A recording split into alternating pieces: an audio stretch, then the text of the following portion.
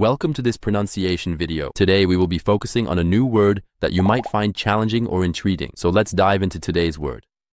Enclin, which means, inclined or having a tendency towards something, predisposed. let's say it all together. Enclin. Enclin. Enclin. One more time. Enclin. Enclin. Enclin.